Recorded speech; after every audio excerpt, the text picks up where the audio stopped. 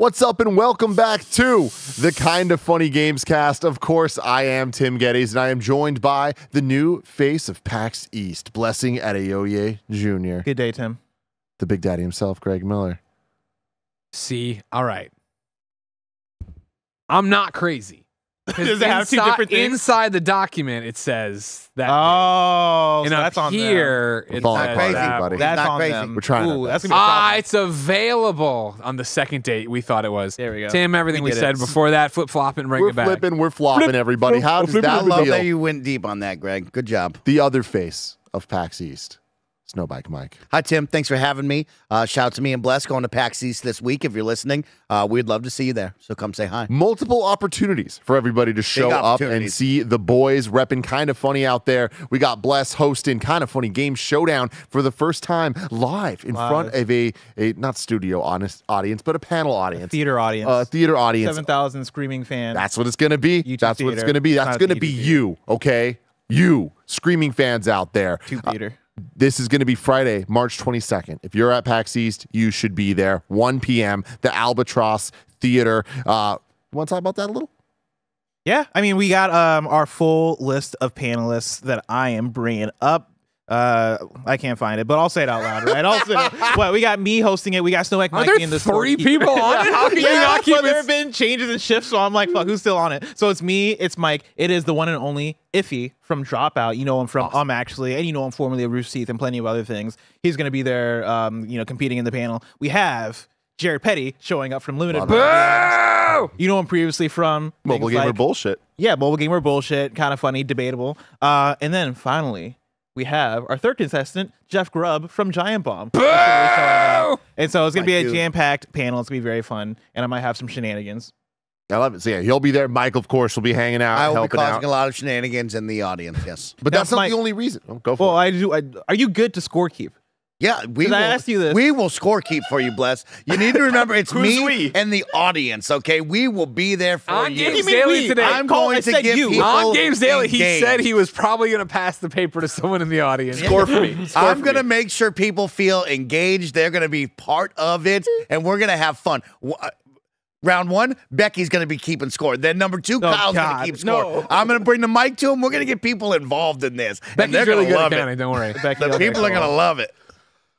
Well, everybody, it's sure to be a great time. And if you can't be there, it's okay. You can watch live on uh, the PAX Twitch channel. Um, so that'll be a lot of fun. But that's not the only reason that the boys are at PAX. We have not one, but two very official, very important, extremely cool panels that they're each hosting, uh, starting with Snowbike Mike hosting the Grounded PAX East panel alongside Obsidian. This will be 2.30 p.m. Eastern in the Albatross Theater. Uh, and then you can also watch online at twitch.tv slash PAX2. Uh, and then Blessing will be hosting the Cyberpunk 2077 Phantom Liberty panel uh, at PAX East alongside CD Projekt Red. You can join him in the PAX East main theater on Saturday, March 23rd at 3.30 p.m. Uh, Eastern Time. And if you can't attend in person, you can watch that on the main PAX East Twitch channel. You excited? I'm so excited. You excited, Mike? It's a big honor. I'm very excited. You guys are gonna crush. Everybody, We Everybody. get to celebrate Grounded. I got the Yeah. easy one. He gets the tough one. I I got get the easy main one. theater. I hope Idris shows up. uh, so with that all out of the way, all of that fun housekeeping. Obviously, GDC's going on right now, so we've been going playing a whole bunch of games. We're gonna be talking about that throughout the week in different places. Um, but we've already done so much cool stuff. We just did the uh, spring game showcase. We collaborated with the Mix. Uh, there's two pieces to that that I would love for all of you to go back and check out if you weren't able to watch them live. Last Friday, we did a showcase with 60 plus games being shown off. It was absolutely awesome. So many of them looked great. And then so many of them we got to actually play on the follow up Monday stream that we did, where for a whole bunch of hours, I don't know what the final count was. 10, something like that.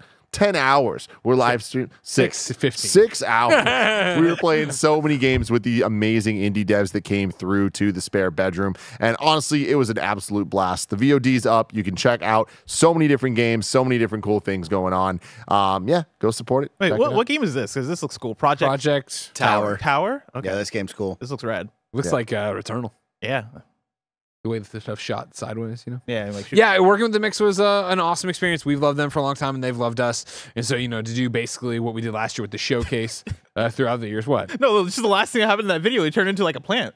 Yeah, what about it? What about it? That was perfect timing, crazy, dude. It was out of nowhere. Oh, Mario fucking eats a mushroom, becomes some kind of walking lizard. Nobody bats an eye. This guy fucking turns into a shrew. I don't know if he's ever turned into a lizard, but all right. Dude, talking about the uh, the stream we did though. Yeah. Um, I we always play a lot of really cool games, and like there's there's always ones that pop up, like Pepper Grinder. So awesome. Yeah. So much fun. We had a, a big a gimmick there where we actually played with a, a real pepper grinder that was attached to a drill, and it was wild. That was the controller. Um, Bless had a lot of fun with that, and it was Best time of my life. so much power.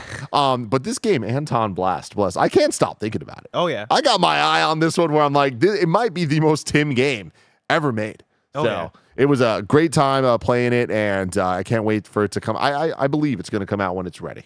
You know, and they're talking about 2024. I believe it. I believe it. Don't I mean, it, believe that. it feels like it's already ready to come out. So I'm very Anytime you meet one of these it. indies, don't believe a goddamn word out of their mouth when it comes to release dates. Well, what what what they my boy Tony- overscope, they keep going, and then God bless them for doing it. I mean, he's straight up said he's just like, we're not like, I don't care if it doesn't come out this year. Like, we're putting it out when it's ready. He's Yeah, like, this hell shit, yeah. this need, needs to be perfect. So I'm like, I love that. I love that. You know what's crazy is that like, but during the stream, there was like a dude that came in, and his name was Anton. And he was wearing like a Sonic the Hedgehog shirt. Yeah. And I very much assumed that he was the Anton Blast guy. Uh-huh. Because I look at Anton Blast, I look at this guy Anton with a Sonic shirt, and I'm like, sense. oh, that's you. Like, you're the Anton Blast guy. So I just dap him up. I'm like, hey, d- hey, dude. You're very excited for your day, for your game. Like I'm looking forward to it, whatever. And then like we sit down, and, To- and Tony sits down with us, and I'm like, "You're not Anton." You're not Anton. what was This weird is Anton. that uh, Anton came on after Anton Blast. Yeah, yeah, he did. And I so was when like- they got there, I was there for the outside when they got introduced, and he was like, "I could make a joke about our game name, but I won't." you know what I mean? Uh, for me, you know, you mentioned not being able to stop thinking about it. I know this is uh, one that the boys were not able to stop thinking about. Roger obsessed. This is sulfur, right? Uh, obsessed with sulfur. He the, he- when we announced we were going to do the showcase, he hit me up and was like, "You need to get these guys on there." Uh, but me personally, uh, Children of the Sun.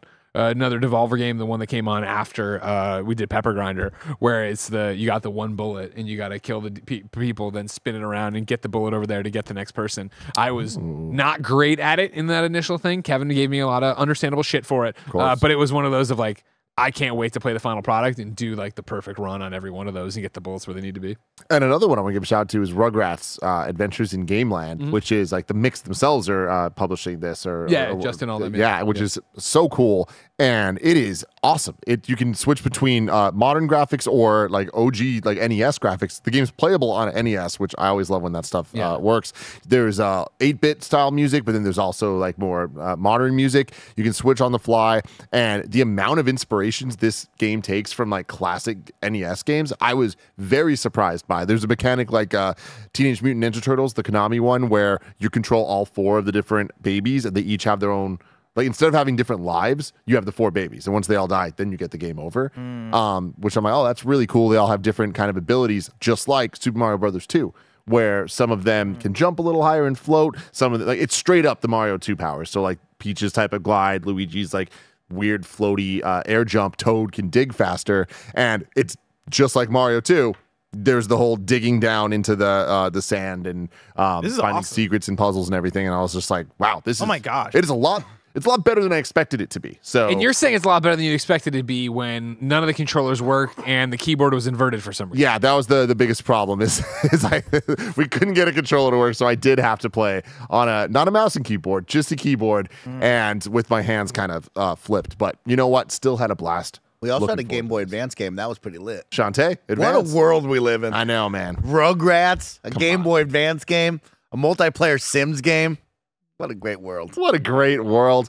Uh, and you know what? The world's great because of video games. And we like to talk about video games on this show, the Kinda Funny Gamescast. Each and every week, we get together to talk about them and all the things we love about them. You can get it live if you're get if you get the Kinda Funny membership. You also get it ad free and you get a daily exclusive multimedia experience, Greg Way. Um, shout out to our Patreon producers. Um, which for some reason I don't have here. We're falling apart at the seams every single. Is No, it the same month? It's uh, Kieran Hovasapian, Thank you. Delaney Twining, Mhm. Carl Jacobs. and Carl Carl Jacobs. Yes. Nice work. There- I don't think people can comp- comprehend how complicated the schedule is right now. Yeah. And I mean, like we did the stream all day yesterday for, as Tim said, 15 hours. Uh, and then today it was you guys shot down to do demos. Me and Mike did Games Daily, then went down to do different demos. You showed up at our demos. Then we came back here. We just did WrestleMania ranked for the week. Then we immediately are in the like, and that, that's the rest of the week. The studio is booked back to back to back to back. And I just had to scroll down. They were right there. He just I nailed it. ready. They were right there, everybody. He everybody. just wasn't But anyways, enough about that. Today we're brought to you by Shady Rays and Robinhood, but we'll tell you about that later. We got to talk about it. Dragon's Dogma 2. Blessing, you've played every single second of this game. You've beat the hell out of it. You platinumed it. Is that correct? That is not correct. Okay. How- how much have you played of it? Uh, I played about seven hours. Uh, so this is a game that we got about a week ago. Um, of course, it's been a very busy week with GDC, with the the mix showcase. With um, I had a trip to LA last week, uh, and so like this is a game that I wanted to sit down with and put in so many hours into and come here and talk about it because the fervor for this game, the excitement for this game online, seeing the previews for it have gotten me more and more excited. Let alone like the preview that I did uh, some time ago, where I came away from it being like, okay, like you know, I can kind of see uh, where they're going with it, even though there are parts about it that feel kind of old, feel kind of archaic. I think there could be promise here. Uh, playing seven hours of it so far, I am not nearly deep enough to feel like I can have like a final opinion on how. Oh God, no, no, no, no, no. Yeah, like this is a game that I'm. I still feel like I am so early. I still feel like I'm in the beginning hours. I still feel like I'm in the beginning of where my uh, vocation is. Um, I'm, I have like the fighter vocation, like the most default one that I could choose. Yeah, I did. Def- I did fighter too. yeah. Um, and so seven hours in, I started to take notes because I knew we were going to come in here and give our impressions. And what I find is that most of my notes are complaints. Most of my notes are, man, this game feels archaic. Like I'm surprised that there's no fast travel. I'm surprised there's no uh, lock on. I think the quest structure can be very unclear. The story isn't really hitting for me so far. Um, the you're playing with like a group of pawns, which is basically like the companions that you play with. You How have- many are you playing with?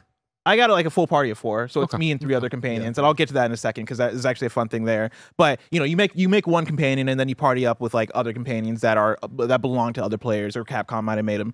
Um, but like I'm running with a my one of my guys is from Beans. Beans got games. I'm like hell yeah. Shout out. Yeah. one of my guys is uh, Mitchell Saltzman, uh, Nice. yeah, Pawn, who is actually Kratos. Ah, So I think like- that's dope. and like that that's gonna get into some of the stuff I'm enjoying. But yeah, like you're playing with, with you like your created characters and then a set of created pawns, and so there's a lot of canned dialogue, and it feels like I am playing with a set of avatars as opposed to a set of characters. Um, and then like there's performance where the frame rate can dip, uh, especially in busy areas. But even when you're out in the open world, I am uh, kind of bummed out that there's not a performance mode. Like I wish I could be playing this at a at a smooth 60 FPS. Um, all of that said, like those are all negatives.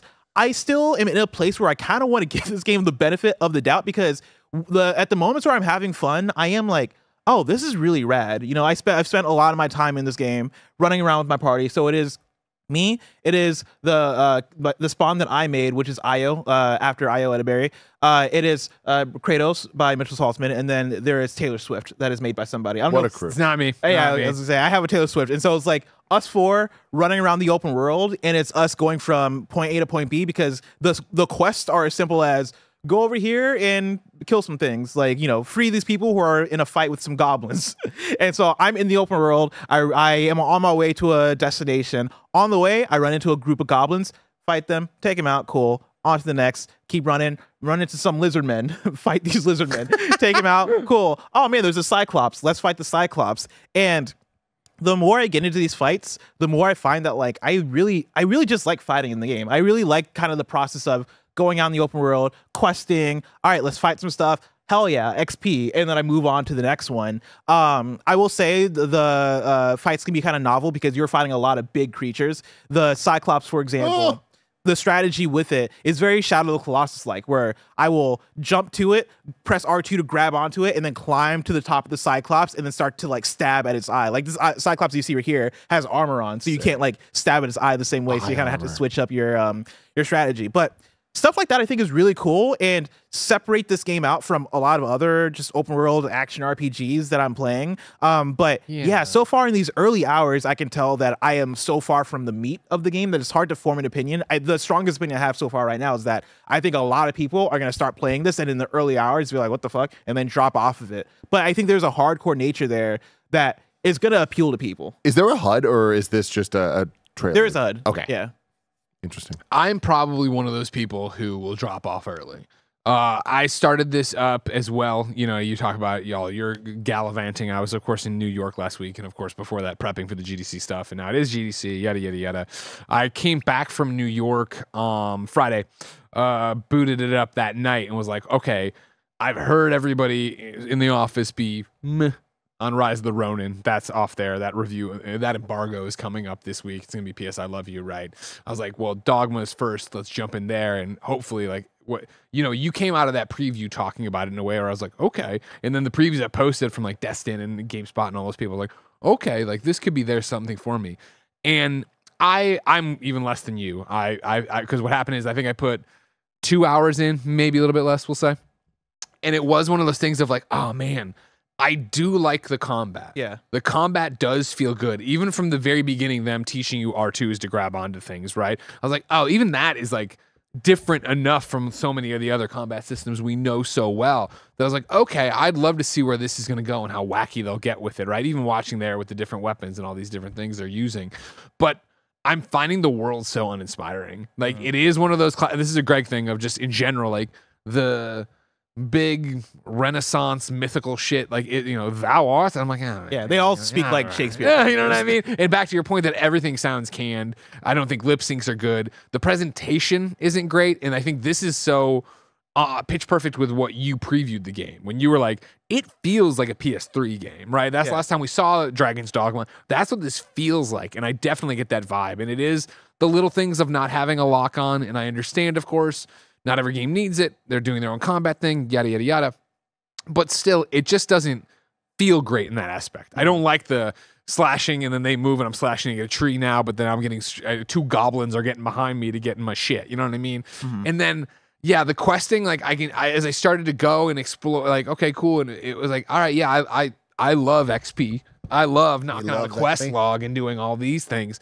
I'm going to, and it's just, ah, I just didn't get the rhythm I wanted out of it. You know what I mean? Like, I don't know the right terminology for it, right? But everything looks like my created character. You know what I mean? Mm, everything yeah. has that blandness to it where it's just like, I, it's it, usually when I have a ca- created character I don't like, it's like, well, I didn't more face more for I did too much of it and it doesn't match the rest of the things. I should have stuck with a template. Whereas this one, my Diana of Themyscira, right? Like she just, and then everybody else just, and I'm, I'm talking to an Right. actual NPC and it's like, ah. Yeah. And like it's cool to have the companions from other people popping in, right? The vocation stuff seems deep and there's a whole bunch of things. But I was so like, man, this is not hitting the way I wanted to. And so then to pre you know, to preview PS I Love You, I was like, oh man, well, let's try Rise of Ronin. And my expectations I think were so low from how everybody talked about it here. I'm having way more fun with that, but I'll save that for a PS I Love You. Hmm, little tease there. Mike, what about you? How much Dragon's Dogma 2 have you played? I've played the opening hour. I am currently on the Rise of Ronin team, so I'm looking at that over this. Uh, but I didn't love what I played. I picked up the mage. I went with the wizard build, and when we talk about no lock on, the moment that I ran into harpies that were up in the air, one of your earlier spells is a firebolt, and if you cannot find the harpy in air and be able to throw a firebolt at it, you are going to be missing a lot. And the combat really felt like a drag to me. That opening sequence was very cool when you have the climb onto this larger enemy, kind of scale up the side, and be able to do some of my magic spells up close and personal was cool. But the moment that we added in an extra layer of trying to aim what I needed to do, it completely fell off the rails for me. And I felt like, oh, I've chosen wrong. I should have gone with the bow. I should have gone with the swords or something different. Um, character creator didn't love it. I know it is very hmm. in depth, and people are going to go a little ham on that. I was disappointed there was no randomized. There didn't really feel like there was a big preset menu of like, hey, if you are bad at this kind of stuff like I am, we're going to give you some pre-built ones. Hmm. It felt very much like good luck, sculpt it. And then, of course, now I've made the ugliest character known to man, and I immediately hate it, right? And also, you know, you have two races. You have the cat people and the humans right there. So I thought, okay, I'm going to get deep in the pond and try that. Thankfully, I clicked on the cat guy that looked good enough, and I was like, you know what? You're Tony the Tiger now. You're my guy here. And I, I love hearing that there's cat people Yes. and normal people because and that's all. that's it. That's those are the two main disappointing. races. Andy Andy made Garfield, and I was like, "What the fuck inspired Andy Cortez to do this? This makes a lot more sense Yes. now." I love And- that he made Gar- Garfield and couldn't figure out how to start a new It's game. the best so thing. he's trapped as Garfield. So freaking funny. it's a very interesting situation of you get introduced into the pawn situation, which is you creating your own NPC party member, and immediately afterwards, I press close and Garfield is behind me, right? If I'm Andy, and all of a sudden, out of nowhere, now two more pawns get immediately introduced and want to join my party, and it's like, hey, back up a second. I just got my home. felt like I don't. Yeah. I don't need all of you like right now. It's great that I fill out my party, and it is cool once we go. But like, I mean, it is instant. You finish it, and that person runs right up to you and says, "You can hire me. Let me be part of your team." And you're like. Okay, I guess. Like I'm just getting to know Tony here. Like back up a little bit. Yeah. Uh, but I am interested in the pawn menu situation where I could get Blessing's pawn or I could get Greg's pawn. Like I like the idea of like looking out to the world and calling them in and seeing what that is. There's a long description of like if your pawn goes out and serves, they earn stuff, right? Like I'm interested in like what does that really look like? What does that mean to me? Will someone use Tony the Tiger? Probably not because he looks really bad, but he also has a really bad voice. I, it just didn't vibe with me. And as Blessing said during that preview, it does look a little dated. It looks just doesn't pop. There is no wow factor to this. There's a cool moment, but I'll tell you, that opening hour is kind of slow. There's like a cool moment, but other than that, you're kind of like running from point A to point B. He's semi slow. There isn't really much agility to it. There's no flow. You're just kind of mindlessly walking. You're like, ah, this feel doesn't feel moment good. to moment. Yeah. And again, I I, I want to make sure, and I know everybody's listening to this podcast this far, they know, but it's like we're talking about early impressions, but they're for me so lukewarm in a year lifetime of games that it's just like, well, I, I, I Ronin's knocking on my door the same way it's knocking on everybody Even, I mean, seven hours in, like everything you guys are saying is still true. Yeah. Yeah. Like I think this is going to be a very slow burn. I've talked to pe- to people in my Discord of like uh, people that I know that are in uh, that are reviewers that are also playing the game, and I'm like, hey, like, are you guys like what's what's up? And a lot of people I know are fucking loving it, and they are also way further than I am and further than we are, and so I'm like in that place where I'm like. Okay, maybe it's a slow build, and like, and then I, I even mentioned that to them, and they're like, "Oh yeah, no, it's a slow build." And so I'm waiting for it to get there, but I'm shocked by how slow so far it's been to get there, right? And even for me, I'm, I'm waiting to see like how it gets there. You know, I think part of it is gonna be the voc- vocations. Well, we've seen the trailers trailers where they're talking about, oh yeah, like it starts off as a fighter, but then end up as this thing, right? Even in the trailers that um Barrett was bringing up for B-roll.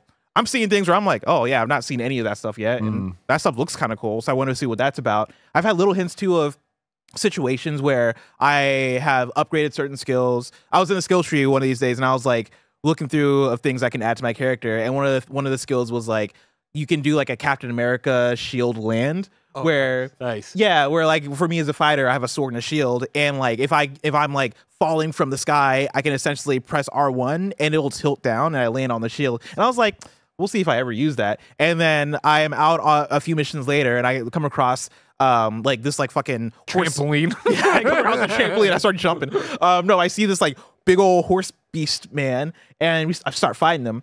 And I'm like climbing on him as you do, and he fucking flings me into the air, and I'm like, oh fuck, I'm I'm I'm gonna die. And then I'm like, oh wait, I have this thing that I learned, and so I press R1, and then like I tilt, I bring up the shield and tilt forward. I'm like, oh, it's working, and then I land, and I don't take damage. I'm like, that was fucking cool. Like that was a really cool thing. But so far, those moments have been so few and far between. Mm. I think if I can continue playing and getting the new locations allow for way more of those moments, then I can see where the magic comes in. So you just said if I can continue playing, obviously there's a lot to, to pull mm-hmm. you away. Do you see yourself continuing to play Dragon's Dogma 2 Blessing? I I think it's going to depend on honestly where reviews and other people's opinions are at. If I see enough reviews that are like, yeah, it's cool, like it's fine, and like it is what it is, then I could see myself being like, okay, I think I'm done. Like it is again, these first 10 hours have been tough in terms of the game giving me that carrot on the stick to want to keep going. It really is going to be on other people being like, "No, bless, you gotta, you gotta keep pushing, you gotta keep going." That can convince me because right now, I, at least for me, there's not that many games that are on the horizon. Like Stellar Blade comes out in a month or so, and then what? There's Pepper Grinder, which I'm sure I'm going to play and knock out in like small games here and there. Open roads. I guess Open Roads, but I assume I assume that's going to be a shorter game Narrative. too. Yeah, it won't be bad. Yeah, and so there's not like a big game on the horizon that is going to pull me away from Dragon's Dogma. I'm like I'm not I'm somebody who's not really looking forward to Rise of the Ronin as much anymore, and so I could see myself going back just out of curiosity to see is it going to grow? Is I'm am I going to fall in love with this thing if I play put in another five to ten hours? If I do, if like five to ten hours, I think is the max though. Of like if this doesn't pick up, then I'm probably going to put it down because I can only do so much of what I'm getting out of here, but I could see myself going back for more. Yeah. Mike, what about you? Uh, this is the one I would prefer over Rise of Ronin. I will be returning to this Oh, uh, over that. So I will probably drop Rise of Ronin after this and then move right back into this. This will probably get a solid 20 hours out of me. Because, like Blessing said, I would like to see when we start that snowball effect and it goes downhill and I feel a little bit more capable of what's going on here. It will decide on the story and if I'm falling in love with that story. I think the world will grab me. Like Blessing said, the moment you walk out that first gate, there is stuff to do. There are enemies left and right. I'm banging into things, and that's what I want. But for me personally, I, uh, you know, I, I got to put one down now to go grab another. What about you, Greg? No, I'm on the opposite. Where again, I, I'm. It's not the doors closed. Like, oh no, I'm never. I. But it's like having a setting I'm not super into. Right, even though it's got mechanics I'm into. Uh, is a turn off enough to me where I'm in a similar boat of like I'd want to see what reviews and our friends and peers who really go through it. But it's the idea that like I'm having way more fun ro- moment to moment with Ronin right now that I'd rather stick. I'm going to invest my time there. I see if I'm going to get doing another 20 hours into something, it's going to be that because I feel that moment to moment is fun and that is part of it. But it's such a tough time right now, right? Because it is, well, playing either of these games, any game right now, it's like, well, I should be playing Helldivers. Well, I should be doing some WWE mm-hmm. stuff. Well, Ghostbusters is getting new content. Well, Destiny just got Ghostbusters. Like, there's so much going on that I just can't. I, it's two hours of this thing, and I knew that Blessing was playing more. However, thank you so much. Was I supposed to hit the small button or the medium button? I just the You middle definitely hit middle the small button. button I hit the 'cause there's no. I mean, content. it's, it's fine. Thank you, Andy. Uh, yeah, like there's so much going on that I just don't have time to sit there and be like, well, maybe this is going to pan out, but I don't think it's going to for me. You're For bringing me. up you're bringing up something really interesting here, Greg, that I want to touch on. After a quick word from our sponsors. This episode is brought to you by Shady Rays, an independent sunglasses brand that has over 300,000 five star reviews. They are on a mission to match affordability with durability, making top quality shades accessible to everyone. They have tons of styles and colors to pick from, so finding the best polarized shades is a breeze. Get ready for a whole new level of clarity with Shady Rays Pro Polarized lenses. This lens tech is all about tough durability and vibrant colors that pop. Here at Kinda Funny, we all love wearing our Shady Rays. Whether it's Tim looking dope during his Pokemon Go walks, Snowbike Mike rocking the snow goggles, or Joey just looking fantastic in her tangle-free shades. If your shades go MIA or take a hit, don't sweat it. They've got lost and broken protection, so you're covered from day one. And if you don't love your shades, exchange or return them for free within 30 days. There's no risk when you shop. Exclusively for y'all, Shady Rays is giving out their best deal of the season. Head to shadyrays.com and use code KF20 for $20 off each pair of polarized sunglasses. Try for yourself the shades rated 5 stars by over 300,000 people. Again, that is shadyrays.com and use code KF20 for $20 off each pair of polarized sunglasses. This episode's brought to you by Robinhood. Did you know that even if you have a 401k for retirement, you can still have an IRA? Robinhood has the only IRA that gives you a 3% boost on every dollar you contribute when you subscribe to Robinhood Gold. But get this now through April 30th, Robinhood is even boosting every single dollar you transfer in from other retirement accounts with a 3% match. That's right, no cap on the 3% match. Robinhood Gold gets you the most for your retirement thanks to their IRA with a 3% match. This offer is good through April 30th. Get started at robinhood.com slash boost. Subscription fees apply. And now for some legal info. Claim as of Q1 2024 validated by Radius Global Market Research. Investing involves risk including loss. Limitations apply to IRAs and 401ks. 3% match requires Robinhood Gold for one year from the date of first 3% match. Must keep Robinhood IRA for five years. The 3% matching on transfers is subject to specific terms and conditions. Robinhood IRA available to U.S. customers in good standing. Robinhood Financial LLC member SIPC is a registered broker dealer. You said you should be playing Helldivers. You should be playing WWE. You should be playing Destiny's Ghostbuster stuff. What do you mean by that? I mean, our jobs are amazing. Just fuck off, Barrett. Jesus Christ. You see this? No, what was that? He's got Garfield fading in as a ghost. Oh my God. uh, what I mean is like our jobs are amazing and fantastic, and the whole point is to, to play games and talk about games, and that gets tricky when your heart is with other games. Like I, I would very much be playing Helldivers every night and WWE every night if I wasn't like, well, I know we have this show, and I know that tomorrow for a Thursday embargo, right? We have uh, the Ronin one. We can confirm Ronin's embargo. Yeah, the, the Thursday's embargo for Ronin. But it's like Ronin, I would st- keep Ronin out of the conversation. Well, just for this one with Dogma, right? Like I should play other things so I can be part of these conversations and talk because that's you know what we do here, right? But like I want to play those other things. Destiny dropping all this Ghostbusters stuff today, right? Like I'm going to go home and reinstall Destiny. Maybe it's still on a hard drive on my my connected hard drive for my PlayStation. I don't know. Uh, and go in and buy that stuff. But even doing that, like I don't know when I'm going to use that because if I was and I am so in a Ghostbusters mood, I want to go to Spirits Unleashed, who have been teasing the Frozen Empire content. I forget what, what day this week that drops. Like, there's so many things to do at any time with all the different games that I just feel like it's back to an argument I was making on PS or uh, Kinda Funny Games Daily today about PSVR 2, where it's just like, yeah, there's 170 games. How many of them are worth your time? What what is worth your time? That changes person to person, mileage Yeah. vary. But I look at Dragon's Dogma and I'm like, this needed to catch me as off guard as like Assassin's Creed Odyssey did in terms of like I don't care about I, I didn't like Origins. Why would I? Oh man, Cassandra's great. This feels great. Oh my god, it's so beautiful. Like I can't turn away from this, and Dogma didn't do that, right? So then it is that thing of anytime I'm playing a game, and even if it is for content, like th- these past two weeks are a great example of.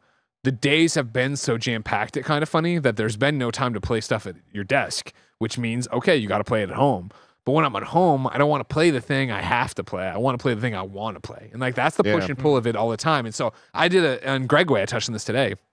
Somebody wrote in about um, hey, how do you, Greg, deal with uh, or how I, I'm the person was like, I'm only I feel like I'm getting 60 to 40% through most games these days and walking away to go do something else. Like, how do you deal with that? And I'm like, why do you care? You know what I mean? If you enjoyed it for 40% of the game, 60% of the game, great. Like rolling credits is such a albatross we put on ourselves and not us as, you know, reviewers and conversationalists now and pundits, right? But as gamers in general, where it's like, if you know 60% in, you've had all the fun, this is supposed to be entertainment. This is supposed to be fun. Like, why force yourself to go through something? Yeah, Mike, how do you feel about all this? Uh, there's so many great games, Tim. We live in a great world where there's a lot of games attacking my attention span. And for me, I will always play the games that I want to play. I want to enjoy, right? And here at this job, we take it seriously. We play the games that we're going to have these conversations with. But when I go home, I'm going to play the games that make me smile. I'm going to play the games with my friends. And if it happens to be a great review game that we're doing, I keep the ball rolling. But I have Final Fantasy right now, and I've fallen in love with that universe, and I want to play that. I want to spend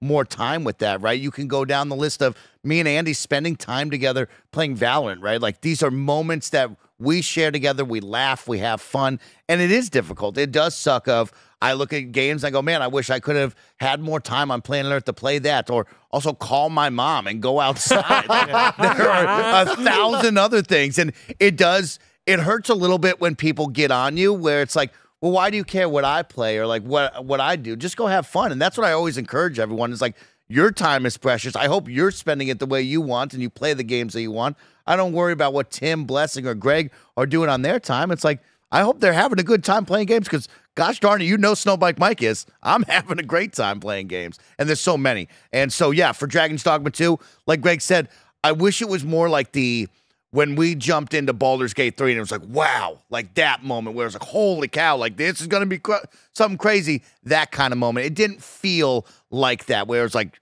hey, we might have to shut everything down and do this. Mm. And I think know? to turn it back to when you just nailed it in your preview, right? It feels so PS3, right? Where it is like it can be. Our, I think games could be different at PlayStation 3 because of where games were for PlayStation 3, let alone with the amount of games that were coming out for PlayStation 3, right? Where it wasn't being inundated. Ev- multiple times a week with a game you have to pl- have you played this? Oh my god. Have you done this? Oh my god. Like i was just opening up you know the thing of the games calendar to look at next week right? And it's like all right cool. Well is south park snow day any good? Well there's open roads but then pepper grinder looks amazing. It's like Yeah. that's that's one week. I just named three games out of five days. You know what i mean? Like god damn That's the tiring thing about it is that there are so many games, right? Like that's kind of where I come back where to what Greg's talking about in terms of I gotta play what's gonna make me happy and what's gonna like make me enjoy life and enjoy. i gotta games. put me first I gotta put me first, Lucius. But like you know, I look at February, and February was a month where it was, man, I wanted to try out Suicide Squad: the Justice League because it was the big game. I wanted to play more. Hell- I wanted to play Helldivers 2. I only played like three hours on one stream, right? Because it is,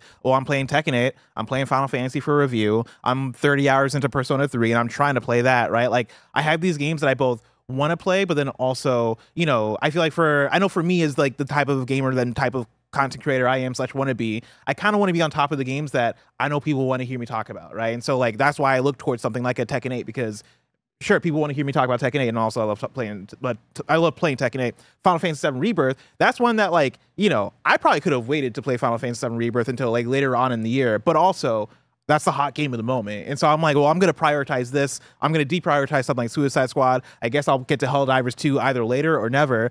Right now, looking at the next month, right? Like Greg's talking about the next week of video games. And I look at that and I'm like, all right, like, you know, that's not the most blessing week, but also Yeah. like maybe I'll play those games. Like again, I expect those games to not be as long. So even if I do play those games, I'm looking at Dragon's Dogma 2 and like the sort of uh free time that I'm having in the weeks coming up of like game releases either not doing it for me or not, you know, uh, uh the coming out as much as like a blessing of oh maybe I'll be able to play enough Dragon's Dogma 2 to be into a new style of game because we're talking about the archaic nature of it. We're talking about how different it is. We're talking about all this stuff. The thing that excites me, if and this, this is me predicting a future that people are already in that we're not in yet, but if the reviews come out and there are final reviews that are like 9 out of 10, 10 out of 10, 8 out of 10, like this is you guys should play this, like there's something special here. That's gonna be exciting in the way of in the way of like, cool, I've not played a game like Dragon's Dogma 2 that I've fallen in love with, right? And it brings me back to the first time playing Souls games where you know, I first played Bloodborne and was like, "What the fuck? Like, what? What do, what do people like about this thing? Like, I don't understand Bloodborne. I don't. I don't understand Demon Souls. I don't understand Dark Souls. But then once I was able to push through those things that I didn't get because it was different, it was doing a thing that wasn't, you know, along the lines of the action games that I knew. I ended up finding an entire genre that I fell in love with. If Dragon's Dogma 2 is getting those incredible review scores uh, when this comes out, and I look at that and I'm like, all right, cool, let's push through. Let's see if I can fall in love with something new. I think those are the moments that are special for me in video games, but those moments are also kind of few and far between because it is way easier to gravitate towards stuff where it is, oh, I know I'm gonna like this, right? I know I'm gonna enjoy playing a Final Fantasy VII Rebirth or a Tekken, as opposed to like me playing Dragon's Dogma. So that's why that's why I am so that's why I'm holding out. Like that's why I'm like, I want to play more. I want to give this a chance because I want to find something new that I can fall in love with. But to Greg's point, right? Like I think a lot of games are only gonna get so much of that window because there's so much happening right now and there's so many games to play. Not all of us have all the time to struggle for tw- for 20 hours on a thing. Yeah, and then for me, in a very different but similar vein here, uh, Princess Peach Showtime's coming out on Friday. Uh, we still don't have review codes for that. I think they're targeting a, different audience uh, than the, the normal uh, thing for it. But playing the demo really kind of deflated me. Like I was like, hoping that I was going to be like so excited to play through this, and I'm still planning to play through it because I want to be on top of that type of Nintendo game, like the like platformers and you know kind of the core mascotty character stuff. Um, like I want to have that experience so I can actually speak authoritatively on like what was good and bad about uh, the the different iterations of them all. But I'm just like, oh man, like I wish I was looking forward to that a bit more than I, than I am. I, it does kind of feel like more of a necessity to have to have play to it, right? this, yeah, yeah. Um, I also don't think it's going to be that long, but and, and hey, maybe there's like going to be some surprises in there. I am still holding out hope that like there's something there Yeah. uh, beyond what I have experienced, but. Yeah, it's a interesting time for for video games. On the flip side of that, I was just talking to to Andy about this, like coming hot off of uh, Prince of Persia: Lost Crown. Obviously, I've talked about it how much I love that game. We have Tales of Kenzera coming out in in April, and those games look so similar from the demo that I I've loved already of Tales. I'm like, man, like there's really really really cool games that are very similar coming out very close together and i'm excited about that i'm not like oh i'm gonna be burned out like i think that's gonna be like no a, way, a yeah. good uh kind of like like layup to to keep going so some fun things on the horizon but great times Plenty of good games. yeah mike do you want to bounce out so andy Sure. cortez can Andy uh, pop in. We'll come a on little in. tag team hot tag. Andy Oh. Cortez and Mike are best friends. One wears a coral hoodie, the other's red. Whoa. They're here to have some fun. Holy They're here to talk some games. Andy broke his foot playing basketball games. Satan is the right true on. Lord. oh my god uh, we want to have some fun here that aren't subliminal. Play I that was black. play like, this is the play it longest backwards. Greg has freestyled without mentioning Satan. We got- we gotta fix that. We gotta remedy that one. Um, we we didn't know how long we were gonna have for Dragon's Dogma conversation based on on where we were, so we wanted to tweet out uh, some a little ask for some questions from the audience. little FAQ. So I want to jump into this. Um, Radic from CD Projekt Hey, Red. I know him. Yes, it says, "Where's that new Splinter Cell game?" I was literally talking about this to somebody last night. I was talking to another uh, content creator, and they were like, "Yeah, like you know, there's a new Splinter Cell, right?" And I was like, "Yeah, it's a remake." He was like, "It's a remake." like they've talked so little about it. We've not got. We got what? What that initial? Was it even a trailer? Was it a video? I thought Ubisoft just was like, hey, we're yeah, we're making Something like it. that. I thought, right? Yeah, It's yeah. happening. sort of Yeah. thing. I think Wasn't it- there the teaser with just the three green lights, or did we all just talk I about think we that always so bring- many I, times? I think that that was probably for Ghost Recon Breakpoint. got it. Ah. Okay. Yeah. Splinter Cell remake, stepping out of the shadows. Ubisoft NA. Two years ago. Wait. There's not. This is not it. Is it? This is from the official Ubisoft uh, North America channel. Ubisoft has greenlit the development of a Splinter Cell remake. So I think this is like old Their footage. announcement. Yeah, so this Yeah. is old footage announcing they're going to remake this game. But I don't So, remember. do we see it ever? I don't. No, I don't think so. give up. Go away. Give up. Wow. Get out of the Yeah, way. like Oh an yeah, it's the eight-minute ending. There it is. It was no Metal Gear. We all know it was no Uh, Metal it's where like Make the biggest mountain in is in like the timeline. No, the one before that. The the mountain. Well, there's a really big one here at the end. No, like the mountain before that though. Mm-hmm. you know, like when they say the most replayed, yeah. Yeah. Oh, mm, God. I'm back. All right. Yeah. They, Yeah. They, they did it. They did Yeah. it. they did the thing. This, I mean, this always. That's always the question: is like, what games are still even in development there that we know of? Yeah. Like, I feel like in the last five years, things have been announced and kind of this, you know, slowly. Ah, they're not paying attention. It's been a Yeah. while. You brought up Beyond Good and Evil 2. Yeah. That? yeah, but we all know. We all know that. You brought up Beyond Good and Evil 2. That was 2017, 2018. What year was that? I mean, well, they first announced it in like 2007. Oh yeah. but, but like when we saw that re- cinematic yeah. trailer, you know, that must have been 2017. Do you know 2017 was seven years ago? yeah. You ever think about that? Bullshit. Yeah. It's crazy. I mean, bless you bringing that up. I forgot to say this at the top of the show, Mm-hmm. but um, you looked over at my my computer and I had Twitter open, and I had uh, Andre from GameXplain. He had a tweet that said that had pictures of uh, Wind Waker HD, and you're like, "Oh shit, is it happening?" Hmm. No, it's not happening. Bless. I just wanted to inform you that as of today, it is longer. No. Oh, one of these. It is longer from Wind Waker HD to now than it was from Wind Waker to Wind Waker HD. So We're closer to Wind Waker on GameCube than Wind Waker was to fucking the atomic bomb. I hate shit like yeah, I like that. that. there was layers to you being mind blown. Yeah, because What- I what- thought you're. walk me I through thought you that. were gonna say it's been longer, which might actually be true now that I think about it. But from the original Wind Waker to now, between um, the original Zelda to Wind Waker, Um, that must be true. no, though, right? not quite, not quite. not yet. Yeah. Wait, Because it's, it's fuck, you're right. yeah, no, because it's been Wind Waker, I was I played in yeah at the Antler House in college. 21 that was years. 2003, and then before that, Zelda. Yeah, no, Zelda must 85, right? fuck. Was it was Zelda 85? Oh my god, Doing the math. doing the math. It was 86. I don't have a. Math. I guess I math, could bust the out my. math. We're, Yeah. no, we're the music guys. Beep, beep, beep. 17 years. math. 17 years between uh, Zelda, Zelda and Wind Waker. and yeah, between Wind, Wind Waker and now. yeah, it's been No. 21 years. Oh my fuck. Yeah. All right, well, I'm sorry, everybody. Sorry, but where are they? Where are the ports? We're Show getting them ports. this This, year. no, yeah, I, think I, would say this believe it. fall. I still believe. They'll come out the same day as Metroid Prime 4. It, do you think it's a summer direct? Summer. Somewhere in there. Okay. Maybe it might just be a tweet. It might just be a something. You know what I mean? I think I feel like August, September. Like if you is sign when up come to a newsletter at one point, Yeah, it yeah. might go to your spam folder. There's a Nintendo tweet that just says "fuck it." And it's Yeah. screenshots of the boxes. They just pretend it's been here the whole time. Uh, Jim Tacey writes in and says, I just want to say that took some talent to be like, when's the Splinter Cell thing coming out? You're like, actually, when's Wind Waker coming out?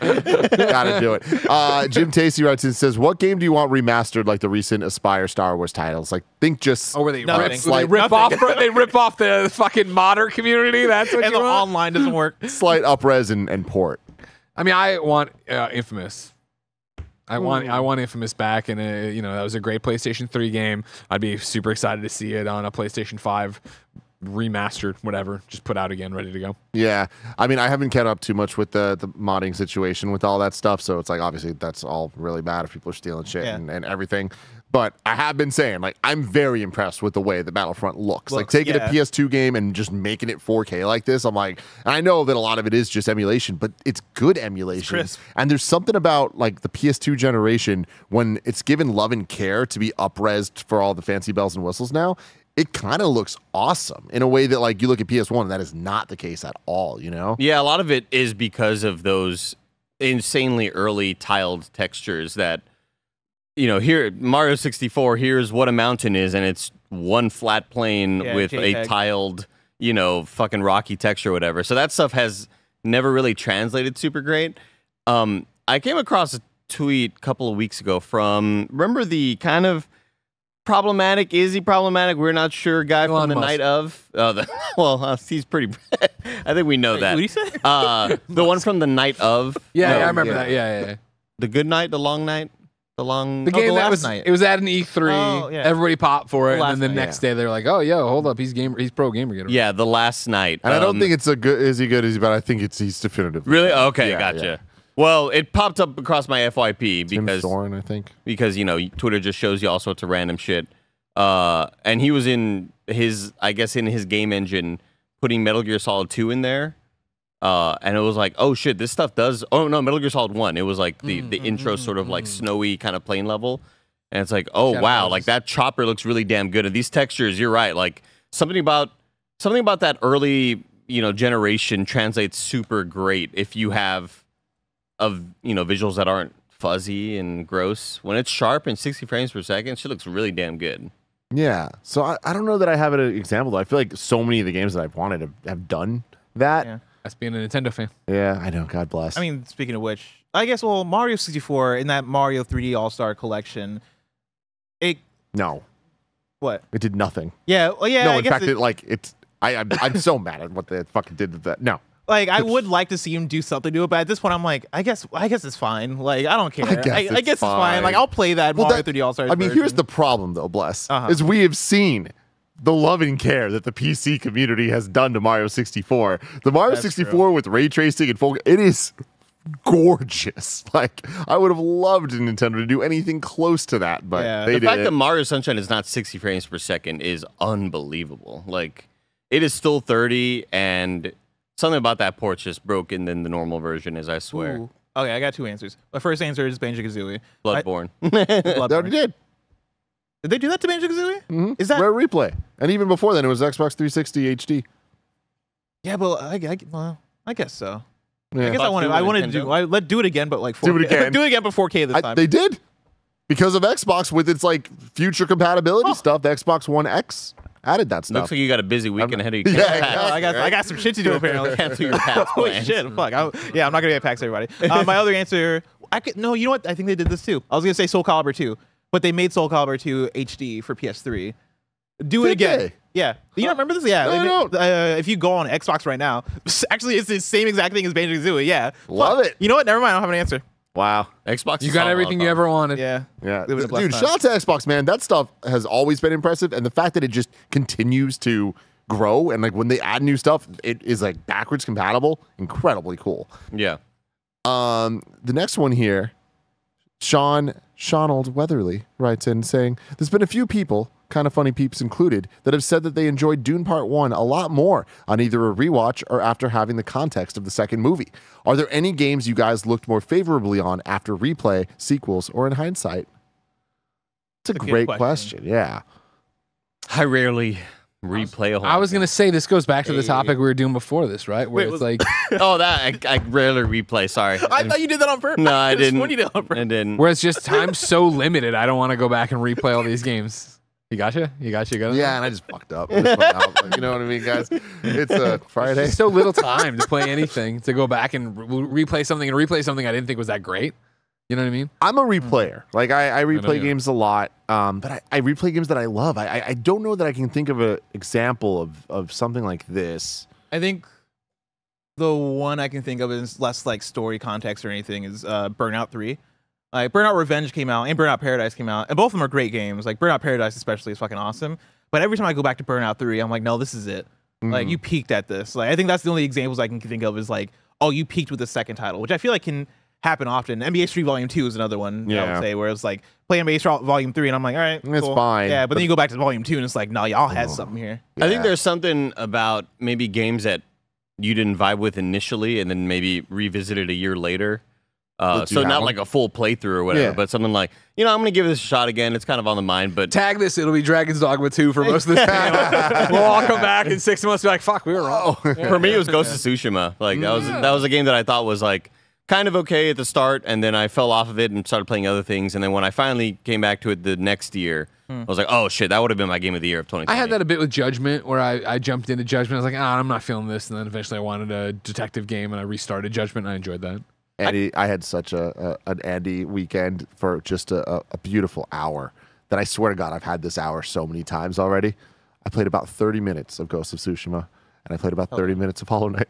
Oh wow. I'm just like Just they're 'cause. both great, but I'm just huge. I don't know why like Ghost just feels intimidating for how big it is, and I'm just like, oh, this is beautiful and awesome, and I'm like, I don't know. And then Hollow Knight, like something about it, I love the look of it. It's not clicking with me, and I think that you start off so like without abilities, and I'm like, I'm sure once I get them, I'm gonna be feeling a lot better. But right now, I'm kind of like, ah, Hollow Knight is a is a is a vibes game. yeah, Like Hollow Knight is not going to be super upfront with this new game mechanic does this and that, and you know, it's like it's kind of like the the anti uh, Prince of Persia in that in that sense, but it's about like being there in that space, putting yourself there, maybe eating a eating a little weed gummy.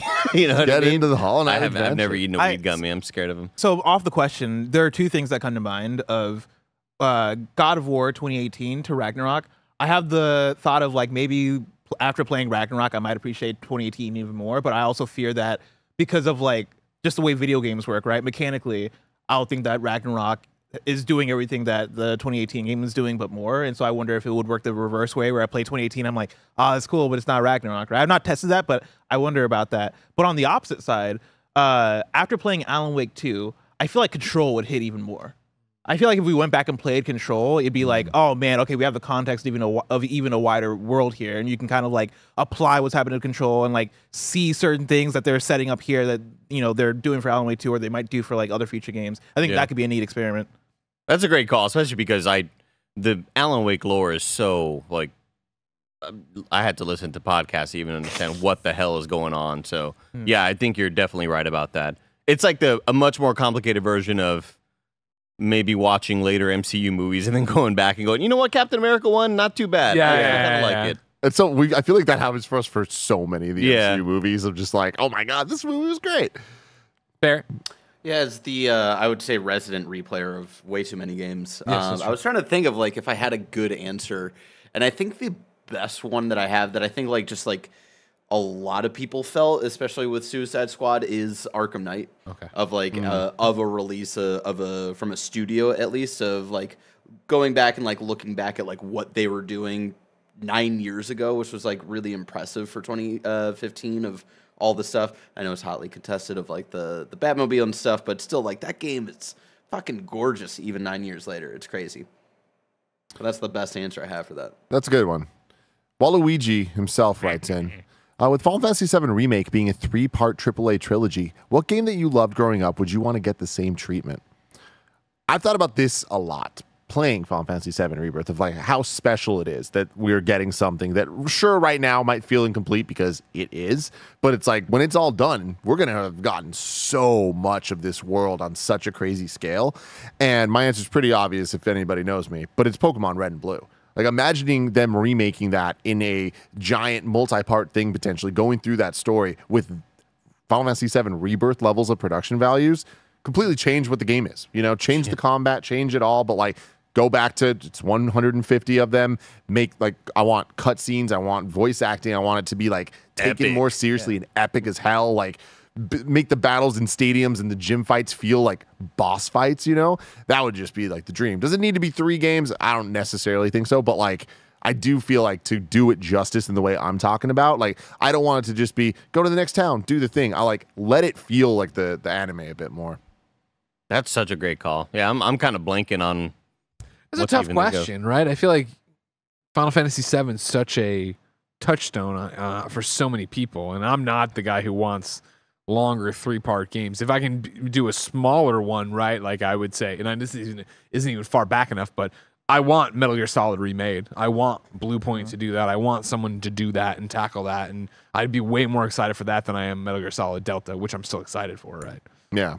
I feel like you could do with Ocarina of Time. Like I think Ocarina of Time has such a iconic story that has those twists, that has those big moments, and like has is it's divided up in structure in a way where I can easily see a game, or I can easily see yeah a, an Ocarina game ending right where you have that like was it a time skip? God, it's been so long that I forget exactly how it went. But like Yeah, the- the Temple of Time, remember? yeah, yeah, yeah, yeah, where like that happens and it is all right, cool. Like you're gonna have to get the rest of the next game or whatever. I think you could do something really cool there. Link to the Past would be something like that as well. Mm. Um, I I I, we haven't seen it remade, you know. I would hate it. I would hate that honestly, because that's like five hours of like the of Ocarina of Time. Midgar. Five Yeah, oh, now I'm, and just, I- now I'm just thinking and about that's things looking a big bigger reason of why I disliked remake. Remake is way too padded. It's way too much of like what was a seven eight hour portion of the game turned into a thirty five hour portion. Like, ugh. Yeah, I'm just thinking about bigger and badder. You know, like Yeah. I'm not even necessarily thinking on the make What- this what it already was. Make this three 30 hour experiences. you Yeah, know? like that. I don't know that there's any game that I, I feel like because even thinking like Final Fantasy X is another game that I want given this treatment, and that I want is one experience, and I feel like that game's way more linear than Seven is anyway, so that could make sense. Uh, but take it to the bank, bless. We're getting Ocarina remake. Yeah, one part or um, I think multiple- multiple one parts? part, one part, and I, I think we get it in the next three years. Wow. I hope Yeah. so. I would like that. I think it's happening. Um, Show people what a real Zelda game looks like. what does that mean? Oh, I broke my sword. Don't you love Breath of the Wild? Oh, I'm up in the sky.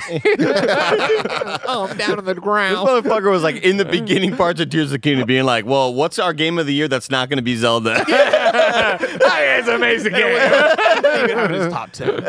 uh, Nathan Maloney says, "What are some hot fire, hot take dream predictions for this upcoming summer season of showcases? Project 007, insert Marvel game here. Thanks for all you do. 007 is a good pick here, right? Like that's that's a game that it's due. You know, I feel like Indie was the other game that similarly was like, all right, we've heard about this big license project." It's Kind of a very exciting idea of MachineGames making an Indiana Jones game, Yeah. having uh, IO make a 007 game, and yeah, it's time to see that, right? Were think we so? the old studio when that got announced, or when was that? No. When has it that 007? long? No way. No. I just I, I, feel like picture it's myself. too soon for 007. IO I agree was with that. IO was work from home era Yeah, because it was You can work soon after uh, Hitman Hitman, 3. three. yeah. Because I remember making the blessings. That was like the first couple blessing show episodes Yep. we did. The, but the first one, it might have been the first one. We did the James Bond episode. Um, yeah, Hitman Three came out January 2021, I believe. And so I, I guess it had been- 2020 was uh 007. That was, was when they announced it. Yeah. What month? Yeah, one month. Because it could have been early. I feel like it. feel like it If may it have was- been it was early. February, 'Cause I remember myself like we owe you a standing next to my old desk. If it's February, then I'll give you the rest of this coke. Oh, man, I can't wait. it's I really hope. I'm right. Yeah, no, it's pretty I hope good. it's January, February. Waiting with bated breath. Yeah, I'm excited. I to played November. Break. November. November. Damn, you're fucked. Shit. Yeah. Let me chug this. I don't know, but I feel like IO, like the way that they've pumped out Hitman content, like I, I think it's time. Okay. Yeah. I hope it's time. That'd be nice. Uh, yeah, insert Marvel game there. I think there's a lot to move on that, right? Uh, are, when do we get to see Wolverine? Uh, when do we get this ca- to see this Captain America Black Panther game? When do we see the Iron Man game? When do you see the Black Panther game? Like, there's like all these things that are gestating, right? Yeah. The teases are uh, bound to happen eventually. Do you think it's Iron Man time? No, I bet it's more Wolverine time. I, th- I, I Really? want it you? No. Why not? I, I mean, I don't know. I just feel like Iron Man is closer than Wolverine. Oh, you think so? Yeah. I bet you'll play Wolverine before you play Iron Man. Hmm. When, wait, how far do you think Iron Man is? No, I, Because like we've seen the timelines for Wolverine. It seems like it's 2025, right? No, I think I, but I, what I saw was beyond that. Again, Was it like, 2026? like yeah, 2026, 2027. Oh, I, I, I thought I could have sworn it was 2025, 2026. I, I can listen. I And can, these are I, all, can, like- I, I can go on Reddit right now. yeah, I, I don't remember. I just remember it wasn't 2024. Yeah, I knew it wasn't 2024. I'm not saying it's coming out this year. I, I would say though, Jeff wants something big at SGF. I'm sure Insomniac would like to be like, "Yo, this fucking sucked that our game looked like that. We'd rather give somebody a taste to get it excited." The big question, I think, Mm. what what are you shaking your head at? I like I kept seeing it popped up July 26, 2024, and I was like, that can't be right. It's Deadpool and Yeah, Wolverine movie. yeah, yeah, yeah. Um, Keep f- looking for that. Find me that date on what they said. Uh, but again, I think you show it if it's 2025. Show what Wolverine looks like to some respect. Hmm. You're, the point of the, them wanting to own the narrative a bit more does make me have some type of faith in that, but I think that's a PlayStation Showcase thing that I don't know that we're going to be getting this summer. Well, again, we just said summer, so I was. Yeah. Oh, oh, I see what you're saying. I apologize. Yeah. Take it back. I understood what you're saying now. Um, the, I, Iron Man's interesting to me because like I keep waiting for that game to just be canceled straight up. Yeah, like, oh, same we're never going to see it. But like the fact that it hasn't and it survived the them canceling all the other stuff and EA being like we're not doing the license stuff anymore or whatever. Like that they specifically said that is still happening. So I'm like. I, I feel like we're gonna have to get that game at some point. And I, I I do it gives me hope because I after the respawn Star Wars cancellation, you know, you got to assume that that game was maybe in a weird spot that maybe they just couldn't quite find the right formula, and so it warranted being canceled. So Iron Man not being canceled gives me hope that they see promise in it, that it's in a spot that oh maybe this is going to actually turn out really really great. But on the flip side of that, I think like are there contractual obligations Yeah. that requires them to release an Iron Man game? Um, but yeah, that is that that game along with like I think it just like when we would see early MCU lineup stuff and you're like, oh, they're never gonna make that movie. Like that's kind of the same sort of vibe I get from this, you know? Well, it's because they just The keep putting Kraven up the concept movie. art, right? Where it's just like, here's the logo and it's the chest. You, what do you got for me on this? We're getting crazy. Uh, this year. 2026. 2026. Again, grain of salt because it's from of like, course, leaked from a leaked information. Yeah. Yeah. Hmm. Hmm. Hmm. Getting a Kraven movie, that's bullshit. We're getting a Kraven movie in just a couple months, man. yeah. That's outrageous. It really is. You know what else we're getting this year? Venom 3. Venom The Last Dance is what they're calling it. Wow. Absolutely wild. Can you believe there's not another Spider-Man movie announced? You know what I mean? There's still no fucking movie. They're re-releasing all the old ones I though. know. Kind of cool. Kind of exciting. they did it on a Monday. yeah, what? Everybody's like, what? So Spider Monday, It- it's. Spider Man. Yeah, Spider Man Mondays, Andy. You never heard of Monday. that? Spider Monday. Spider Monday. He hates Mondays and loves lasagna. He's Spider-Man. so the, the question is just pie in the pie in the sky like hot take uh, predictions Yeah. for summer. this is literally gonna go against I think a pizza bite we might have made, but Astro Bot, it's time. Let's see that little fucker. Okay. Yeah. No, I agree. I, I would love that. I, don't know, Uh, I don't know why I said that aggressively. Let us know in the comments below what you hope to see this summer. Uh, and until next time, I love you all. Goodbye. Bye.